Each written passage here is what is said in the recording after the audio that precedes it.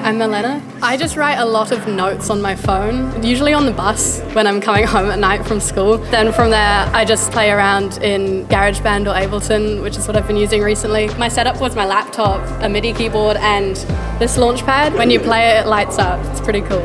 And I was triggering the loops and also playing some of it live on the keyboard MIDI.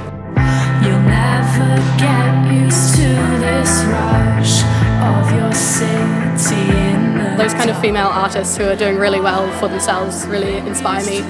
Lorde, as everyone will know. This girl called October from Auckland, she's really good, check her out. And Grimes, because she does kind of a similar thing with producing all of her music and making her album art and everything, and I find that really inspirational. I just really want to be doing everything that I love.